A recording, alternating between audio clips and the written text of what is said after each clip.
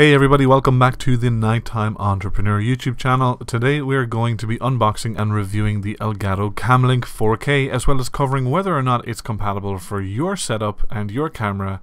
And not only this, but I'm going to give you a heads up on potential issues or things you might want to look out for in order to get this set up as quickly as possible.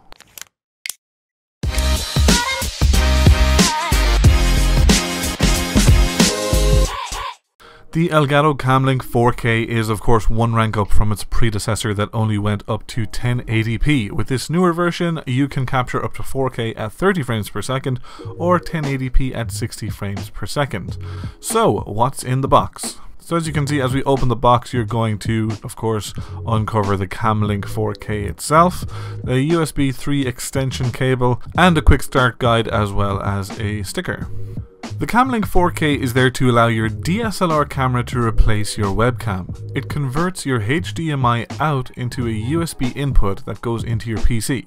Chances are your camera will have a mini HDMI output, so you may need a mini HDMI to regular HDMI wire. Again, that's a mini HDMI to regular HDMI. I will link one of these below in the video. They're available on Amazon or pretty much at any major electronics retailer. Just don't skimp here, be sure to get a good one.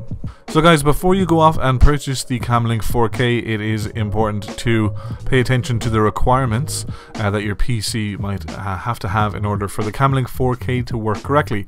Uh, Mac OS Sierra 10.12 or Windows 10 64-bit, uh, CPU 4th generation quad-core Intel Core i5 CPU, and the USB 3.0 ports. Um, with the spec then, you just need a HDMI input, and of course there's a list of resolutions there as well most um, computers, most modern computers um, would meet all of these requirements. Just check on your uh, CPU whether it's i5 or above. Now guys, something major to look out for when using a DSLR as a webcam is the power. You will burn through your battery really quickly and cut out probably 20 minutes into your stream. So something else you may also need is an AV wire that is technically pretending to be a battery to your DSLR but is actually plugged into your mains electricity.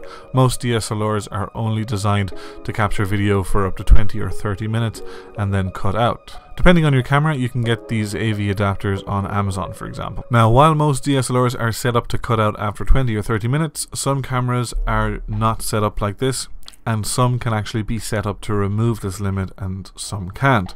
This is why there's a list of compatible cameras on the Elgato website. I'll put the link to that specific page below the video. One other potential issue you may face, and this is the last one I promise, because this setup is using your HDMI output, it will send everything on your camera screen to the Camlink. So, if your camera display is showing all of the usual HUD items, it will also send that to the Camlink. So you need to see if your camera can offer what's known as a clean feed to the Camlink. Now producing a clean feed is a simple setting your camera either has or does not have. If your camera can do this, it's also detailed under the compatible cameras list on the Elgato website. Okay guys, so firstly what you need to do is plug your HDMI into your Camlink.